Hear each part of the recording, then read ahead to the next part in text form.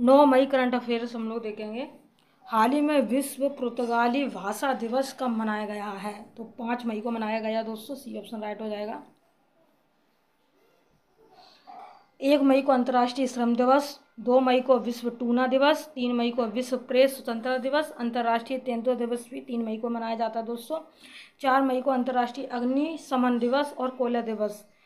साथ में पाँच मई को विश्व हँसी दिवस मनाया जाता है।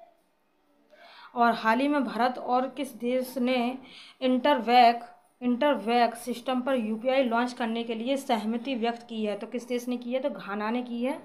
देख लेते हैं। हाल ही में किसने मैड्रिड ओपन टेनिस का का एकल खिताब जीता है? तो किसने जीता है? उपयोग दोनों ने ईंगा, एक मिनट, ईंगा स्वी, एटेक और एंड्रे रूबलेव ने। दोनों ने जीता है दोस्तों।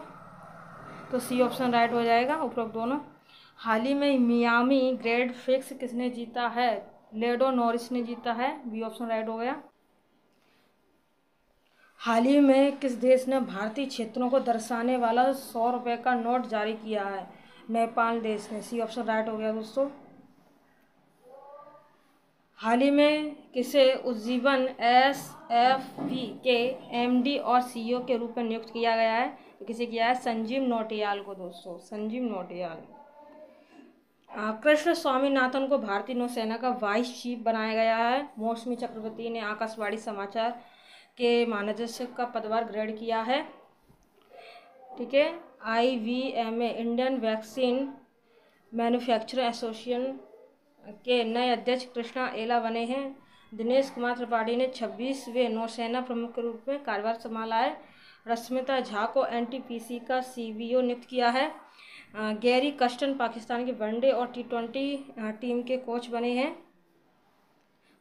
W F I athlete panel के अध्यक्ष नरसिंह यादव चुने गए हैं दोस्तों। चलिए। हाल ही में कौन भारतीय महिला हॉकी टीम की नई कप्तान बनी है तो कौन बनी है? सलील, सलीमा टेटे बनी है। C option Salima Tete. Bharat का पहला स्वदेशी मोम्बर यूएवी कहाँ लॉन्च किया गया है? बेंगलोर में लॉन्च किया है। ए ऑप्शन राइट हो जाएगा दोस्तों। हाल ही में किस देश ने थॉमस और उबेर कप बैडमिंटन खिताब जीता है? तो किसने जीता? चीन ने। सी ऑप्शन राइट होगा दोस्तों। हाल ही में किस फुटबॉल क्लब ने छत्तीसवा ला लीगा खिताब जीता है? तो किसने जीता? रियल मैड्रिड ने। बी ऑप्शन राइट होगा दोस्तों। हाल ही में, जस्ट थोड़ा सा, हाल ही में किस राज्य सरकार ने आबादी बढ़ाने के लिए कुछ बागों को सहाद्री रिज़र्व में स्थानांतरित करने का निर्णय लिया है? तो किसने लिया? सी ऑप्शन महाराष्ट्र सरकार ने। Maharashtra C option. महाराष्ट्र सरकार ने स्वास्थ्य और शिक्षा के क्षेत्र में एआई के उपयोग के लिए गूगल के साथ समझौता किया है। महाराष्ट्र सरकार ने मुख्यमंत्री वायोश्री योजना शुरू करने का फैसला किया है दोस्तों। हाल ही में किस देश ने आधिकारिक बयान प्रदान करने के लिए एआई जनित प्रवक्ता विक्टोरिया सी को पेश किया है तो किसने किया? यूक्रेन ने। भी ऑप्शन राइट हो गया दोस्तों।